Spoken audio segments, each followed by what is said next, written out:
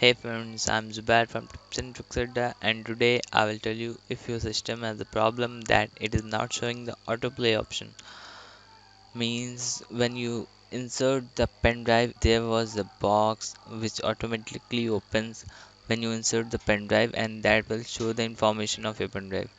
That is known as the autoplay option. If it is not showing in your system, then today I will tell you how to fix that. Firstly, I will show that that I am inserting the pen drive.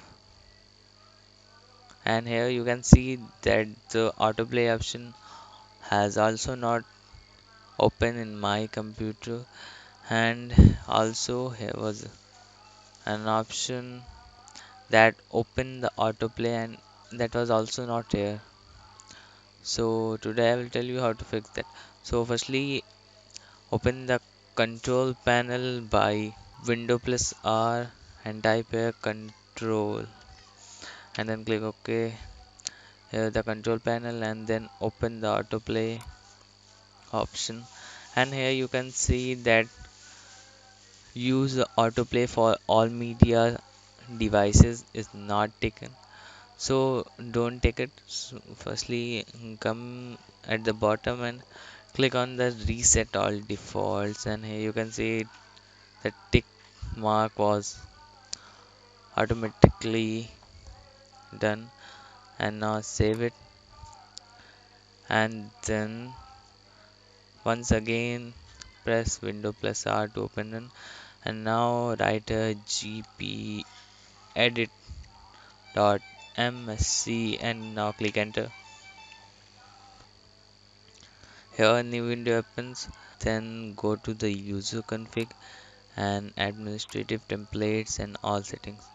Now click on anyone and write on the keyboard that turn and here it's and now drag down. And here you can see the turn off autoplay. Now open it by double clicking on it and here you can see that it was not configured. And if it was unable in your system just make it disable and apply the changes and click ok. Now i'm going to ejecting my pen drive. And i am going to insert once again my pen drive to check that the problem has solved or not. Now i'm inserting. Now here you can see that the autoplay has opened. It means that the problem is solved. So that's all for today. I'll request you please subscribe my channel and like my videos. And comment if you have any problem. And please share my video so thank you friends